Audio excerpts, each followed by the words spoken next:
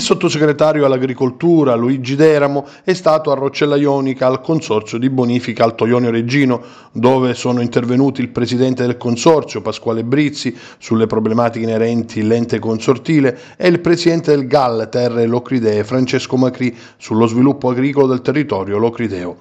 L'occasione della visita del sottosegretario all'agricoltura eh, qui presso la sede del Consorzio di Bonifica Alto Ionio Reggino a Roccella Ionica è occasione per un confronto diciamo, schietto e leale con il governo centrale e specialmente in questi momenti in cui eh, quest'anno si festeggia il centesimo anniversario della nascita dei consorzi di bonifica ed in particolare con tutte queste avversità, la siccità che ormai voglio dire è un problema quotidiano, eh, cercheremo di eh, sensibilizzare il sottosegretario a portare le nostre istanze presso il governo centrale e dare diciamo, delle soluzioni da qui a breve. In particolare mi riferisco eh, sia al problema della siccità che ormai è un problema importantissimo, sta portando in ginocchio tutta l'agricoltura del nostro comprensorio, ma è un problema nazionale. Qualche settimana fa è stato approvato il decreto siccità, sarà nominato un commissario, quindi il governo ha già attenzionato questa grande criticità non solo qui in Calabria ma in tutta Italia.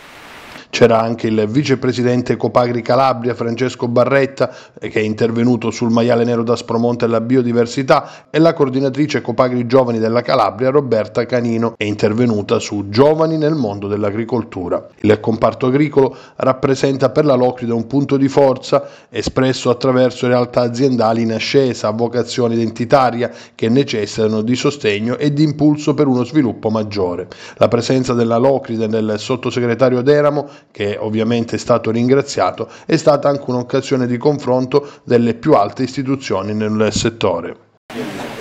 La regione Calabria è una regione patria della dieta mediterranea con tantissimi prodotti agroalimentari che rappresentano una eccellenza sui mercati nazionali e sui mercati internazionali, quindi è di assoluta sottolineatura la ehm, finalità di continuare a sostenere con forza e determinazione il sistema dell'agricoltura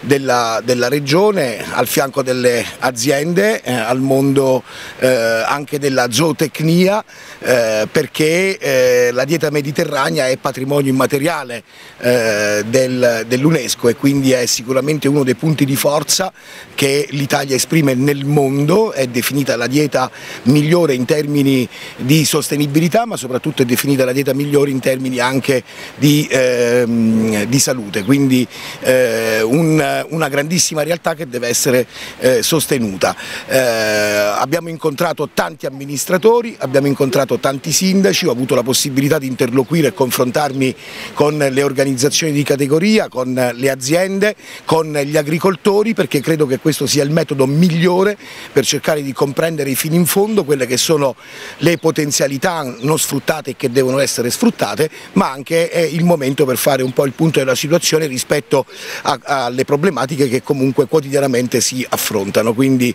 eh, per conoscere bene il territorio, per poter eh, attuare la migliore politica a favore del territorio, a favore del settore primario, bisogna evidentemente anche eh, girare territorio per territorio, città per città.